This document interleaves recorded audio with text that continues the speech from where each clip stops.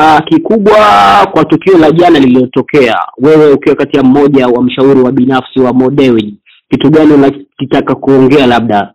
alivyotuambia bana kwamba tuko kwenye akaunti yake itafuta yaliyotokea, lakini bado yanza na nafasi yake. Kwa hiyo imeshakwisha.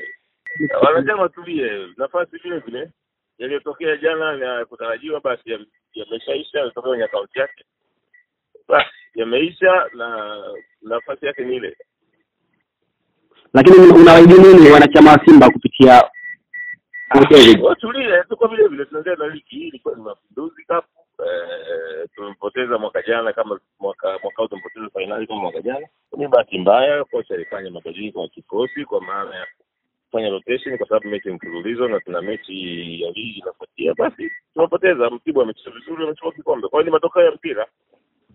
Timu zingine zikifungwa hakuna hakuna matatizo. Kwa hiyo amesha twiti, amesema kuwa ametoka kwenye akaunti yake, lakini bado Simba tunapambana kwenye ligi. Amewapongeza Mtibwa, kuna njia unaweza kaingia kwenye akaunti yako ukasoma. Kwa hiyo hayo yalishakwisha. Simba tunajua imeisha na bado ni mwenyekiti wa bodi. Okay, asante sana bwana Magoli. Asante.